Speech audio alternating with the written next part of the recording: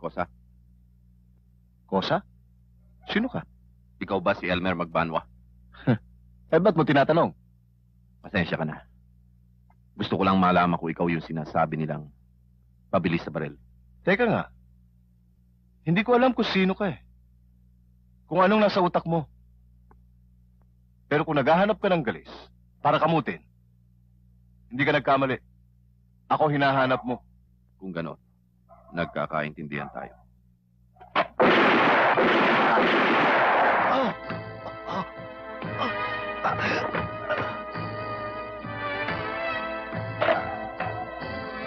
Rito, para naman makita niya itong target range natin.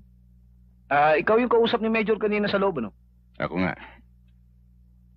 Meron ba kayong ganito sa probinsya? Ah, wala. eh. Maliit lang yung bayan namin. Siguro mga tinatarget nyo doon, latan at bas yung bote. Oo, yun nga. Bakit hindi mo subukin? Ah, sa ibang araw na lang. Sige, sir. Subukin mo ng masalat mo. Ah, Sarge. Nakikita mo yung korting tao na yun? Ang patatamaan mo, yung bilog sa dibdib, papapasukin mo, ha?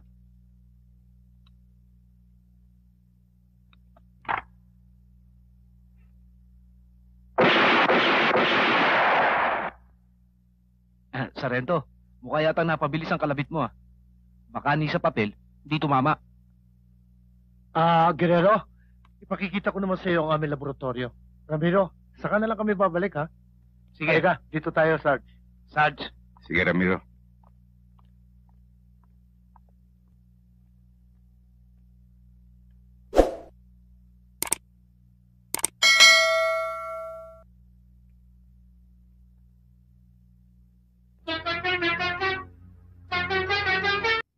Sandali lang, oh. Sarge, para sa'yo. Hello? Sargento Guerrero, Ito nga, oh. ako ang taong hinahanap mo. Magkita tayo sa Doña Carmen Subdivision sa may Paranaque. Pumasok ka sa main gate. Sa ikaapat na kalye, kumalang ka. Pagdating mo sa matataas na kogon, kumanang ka uli. Hanggang sa makarating ka sa deposito ng tubig sa gawing kaliwa mo.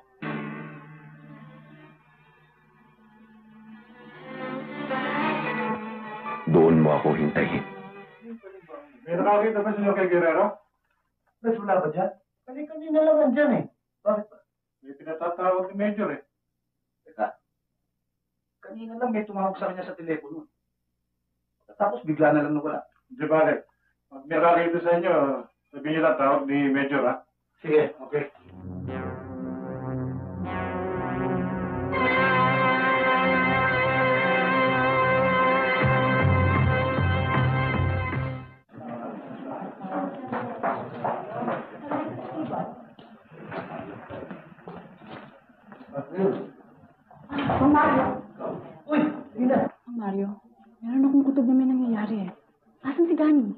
Namin alam eh.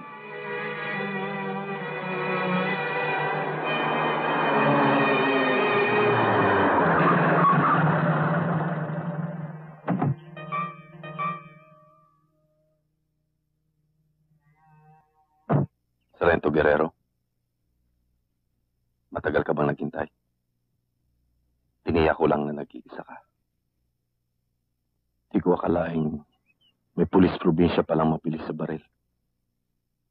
Ikaw pa ang nagkalat na gusto mo ako makaharap. Alam mo bang, maliban sa akin, may iba pang taong gusto kang makitang patay. Nasisiya naman ako. Bukod sa binayaran ako, may sasama ko pa isang probinsyanong pulis sa aking listahan. Mabilis ako, Sargento. Ang nakikita ko pa lang na mabilis sa'yo ay ang iyong bunganga. Marami ka nang napatay na pulis. Tapusin na natin to. Yan ang gusto ko.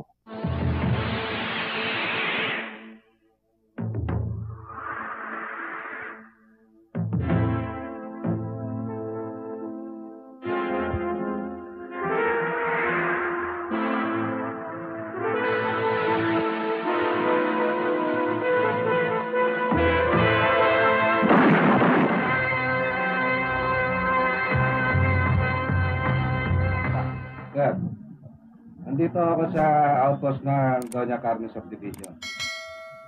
At saka nga pala, oh, sir, kapupulaut lang unang isang bangkay ho rito. Siya pala, sir, ang mga tama ng bangkay ay katulad din ng mga tama ng kasamahan nating pulis na pinatay ng psycho killer.